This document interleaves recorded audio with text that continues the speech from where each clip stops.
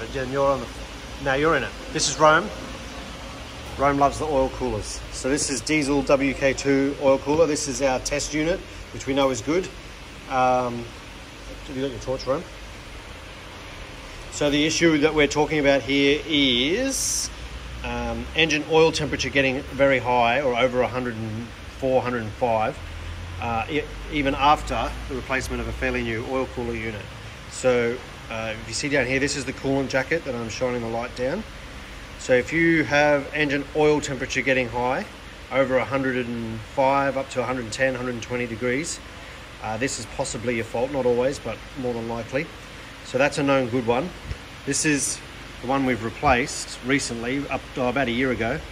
And look at that coolant jacket. There is no coolant flowing through that cooler. So if you've got engine oil temperature, the, the engine coolant is still okay, but the oil temperature is getting high, pull your oil cooler off and check if that's happening. If you've got that, you're going to have to do a major cooling system flush. Isn't that right, Ron? Yeah.